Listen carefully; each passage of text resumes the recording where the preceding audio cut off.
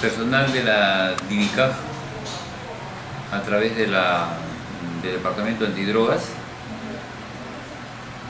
a la altura del kilómetro 276, ¿no? a la altura más o menos del peaje de Villacurí,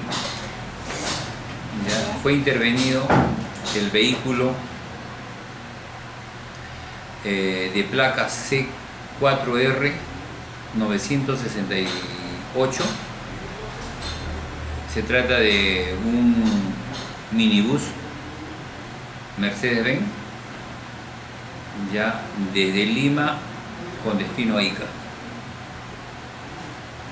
Se intervino la persona de Rosario Milagros Verdiales Palma de 45 años. ¿Era la única persona que se trasladaba ahí, coronel? No, había otras personas. Ella iba en la parte delantera, acostado del chofer como pasajera. Eh, y bueno, a ser intervenida pues en uno de, los, de las bolsas que traía, se le encontró esa cantidad, ¿no? De 576 gramos de alcaloide de cocaína.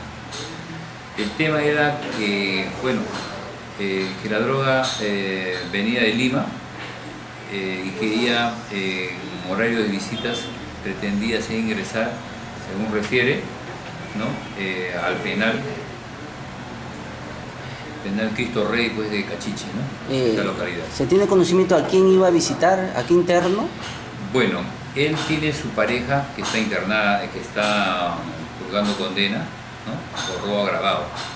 Entonces ella siempre viene a visitarlo y en eso estamos nosotros investigando para ver eh, si en anterior oportunidad también ha hecho este, cometido este, este hecho de delictuoso. En todo caso no se descarta si haya ingresado anteriormente droga al claro, Bueno, sí, eh, además eh, su pareja estaba anteriormente recluido en el penal del, del norte chico, ¿no? Guacho, y ha sido trasladado eh, acá al penal de, de Ica, donde está cumpliendo ya su condena. Generalmente eh, cuando mm, los mm, hay este, inculpados que están en los penales lejos de su localidad, a veces se ponen de acuerdo y contratan también este, minibuses para llevarle al lugar y, también recogerlo, ¿no? O sea, todas las personas que están en, el, la minibús iban al penal. Claro.